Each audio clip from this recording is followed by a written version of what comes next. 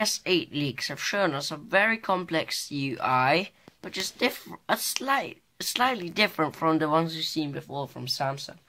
When the Galaxy Note 5 and S6 uh, Plus, Edge Plus were launched, like they introduced this new design of icons, rounded icons with a new touch to them.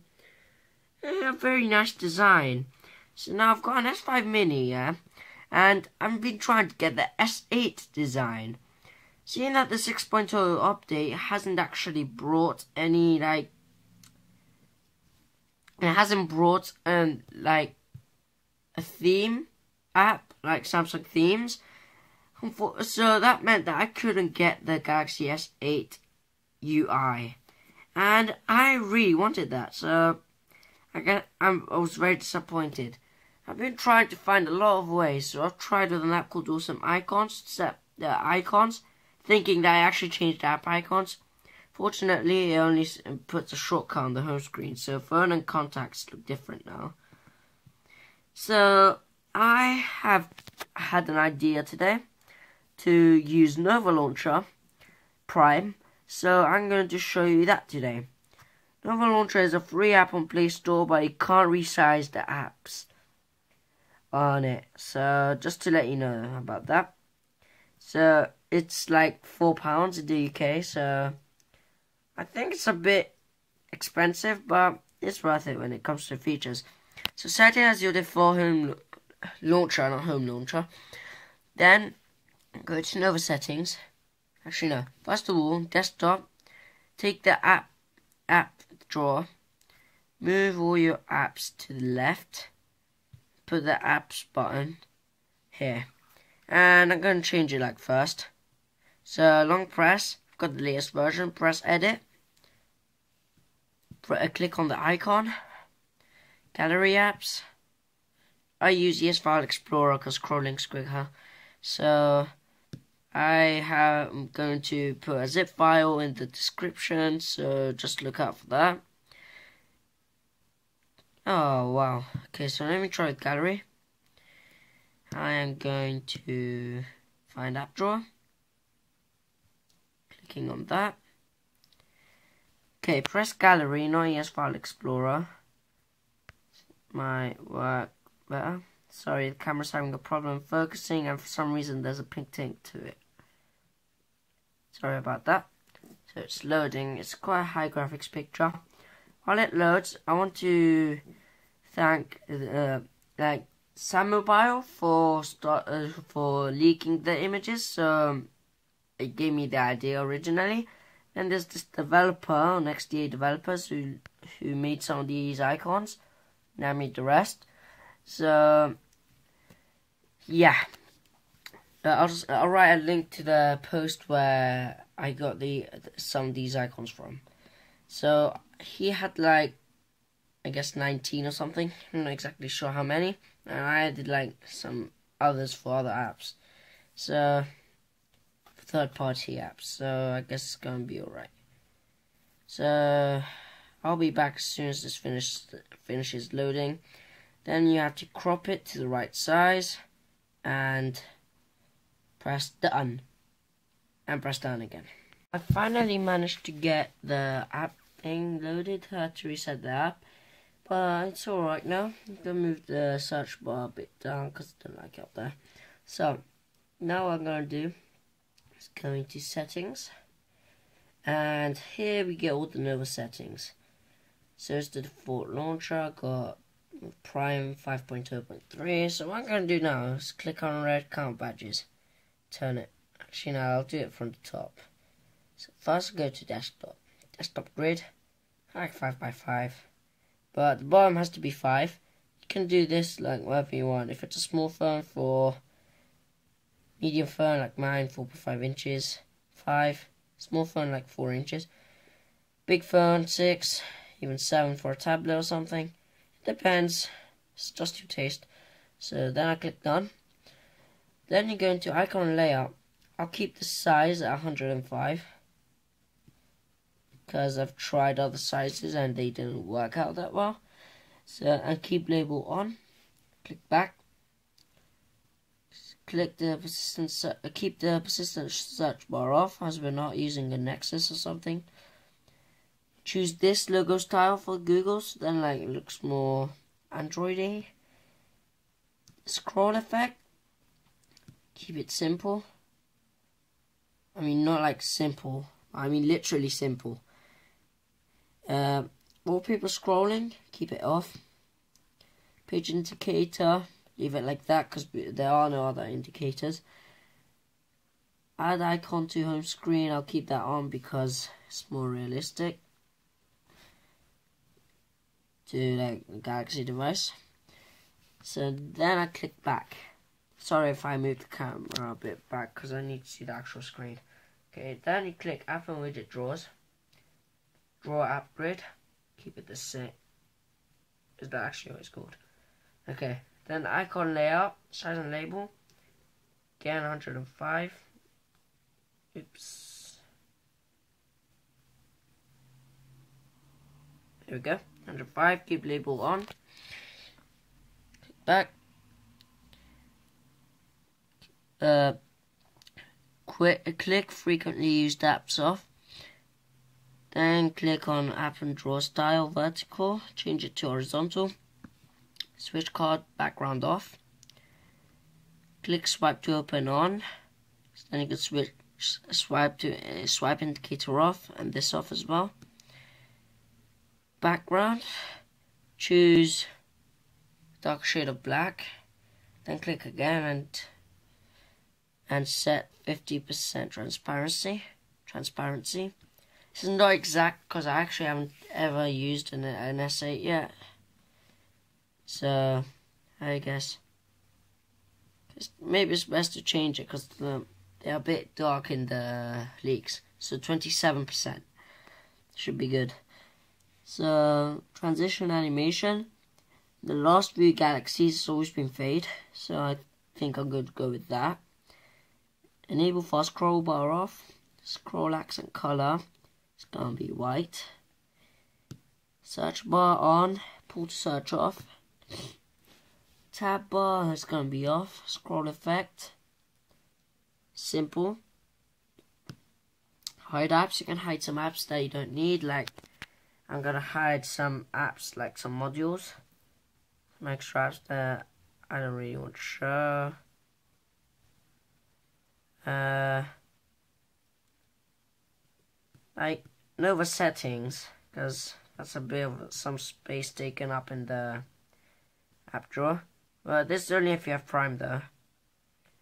So, TeslaUnread. And get this off as well. So, click back. And back again.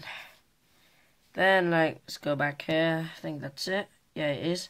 Folders first. Keep it on. Next, we go into dock. So here, what you have to do is click, make sure dock background is off, which it is. Click back, then we want to click dock pages, keep it at 1. Done. Then click dock icons, 5. Icon and layout, keep it at 105. Let me switch label on first. 105. Click back. Advanced. Remember position. Actually, no, it's not going to be important. Next, what we are going to do is go into folders. Sorry, the phone's running out charging, can't use flash. So, going to use folder preview grid. So, then we have to change the folder background to custom gallery. Click this blank picture think I clicked that. Can't see it. I'm just gonna double check because I think I might click the WhatsApp or the WhatsApp or the Xposed one, and then uh, uh, transition animation. It's gonna be zoom. Click done. Background and layout. We're going to make the background same as before with 27% transparency icon and layout. So we are going to make the icon size 105 and shadow? No. The color of the text should be white because you can't see black uh, black on black. Click back. Back again. Next you want to uh, wait. Maybe there might be something in look and feel. Screen orientation you can change that animation speed. You want to change this into Nova. It's already going to be there. Dark icons. Search as overlay it can be useful because you don't have to go to Google app but I like keeping it on it's something optional. So going back. It's gestures and inputs. So here you can change a lot of things. I'm not going to though. Then we're going to go into on red and count badges. Unread count badges. Switch it on. Basically here we're using TeslaUnread so I'm going to keep it classic. Make the badge color orange because that is it on my phone at the moment I guess. Corner radius is going to be 8 and I'm going to leave it medium because it isn't that small. Provider TeslaUnread. Got TeslaUnread 5.0.8 and yeah. So that's it with the settings. But now it's going to be like the harder bit of this. The apps. We're going to change the app icons individually that is going to take some while. So I'm going to start with calculator. So click uh, drag it up to edit. You have to do this on the app drawer so then changes it in the whole launcher. Click gallery apps gallery and then go down to this icon calculator icon. Click done and done. Then you do this for calculator uh, for calendar. I'm going to change this into S planner just for display I'm not sure if it's still going to be called that when this called that when this phone launches but I'll take my chances. So S planner I'm going to change the icon. Gallery apps gallery. So this calendar icon done. And done again. Then I'm going to change camera. Edit gallery apps. Gallery. Going to go down to camera. Done. Done. Etc so I'll be back when this is done to show you the final package. Here we go guys, so the camera's a bit blurry, the phone's still low on charge, it's like 9%. So here we go, the icons are all, not all, because I haven't done every single one, complete. So I'm going to try and update this icon pack, maybe bring it to an APK if I can manage it. Going to try some other things. The only problem I can't change though for now is the search apps. Maybe I could use a new, an older version of, of Nova Launcher. And the the page indicator, which they should make customizable because I, I've had an idea on how to make it like an S8 if you could change it. So guys, that's it from Phones Tablets to Us. Please subscribe and share with friends if you really like this. I might try and do a Nova backup file, but I'm not sure if it will, if it will work if you don't have the files. So if you want to try, you can too. So this one's a Tablets R Us. Over and out. Another thing that I forgot to mention is that the navbar binds the S8 are going to be different from these ones from Samsung that have been on Samsung devices for years. So I'm running a custom ROM here on Galaxy Tab 2 and I wanted to put these icons on just for the sake of it to show you guys. So the first thing we'd have to do though to take these icons and change them into the S8 ones is download the file, it's a zip file from the link in the description and Install this application's SoftkeyZ. Make sure you extract that file and put them all in the, in the phone or tablet's memory.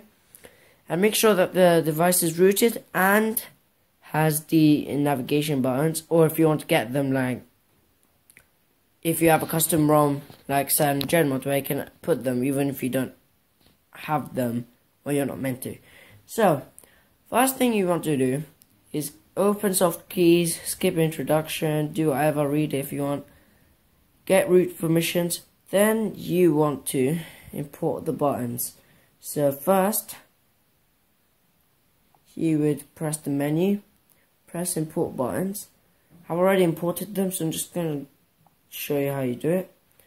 So you open and maybe it's in recent, maybe it isn't.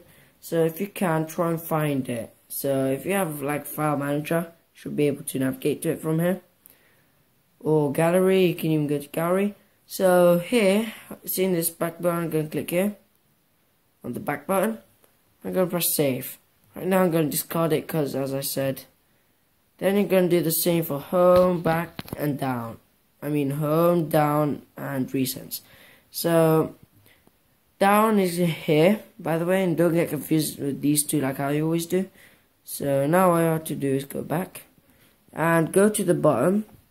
I seem to click something else and click on all four of them and up here the icons will be changing.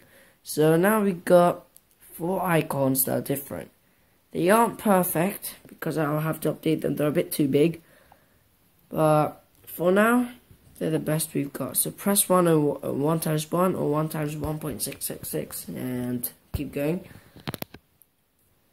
Because they'll be the same. So my tablet takes a bit of time to boot, so I'll be back as soon as it's done. Right, so now the tablet has booted up. So swiping up, we find the new buttons. It's not perfect, they're a bit big. So, not just because it's a tablet, they'll be big on every device. I'll try and shrink them down a little. And they're a bit close together. I don't know why. But that is to do with the tablet though. So, thank you for watching. This is Phones and Tablets R Us, signing out for real this time.